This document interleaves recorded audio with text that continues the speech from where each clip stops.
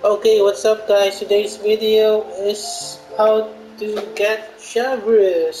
Chevrius, how is it pronounced? Uh, I'm not sure.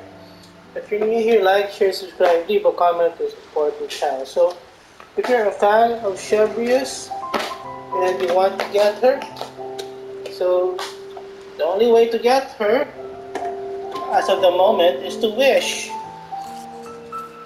Oh, she's eating. When her banner comes out, so yeah, probably also also. Uh, hello there, viewer. What's up? I'm making a guide video. So just wait for her banner to come up.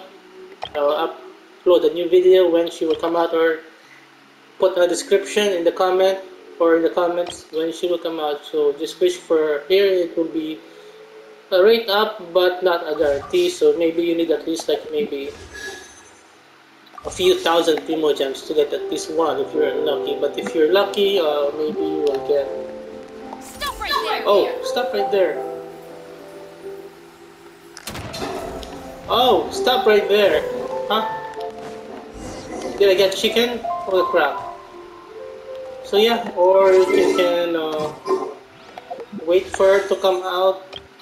Probably in the shop, but I'm not sure, not a guarantee. The Starglitter, not sure though. But maybe someday.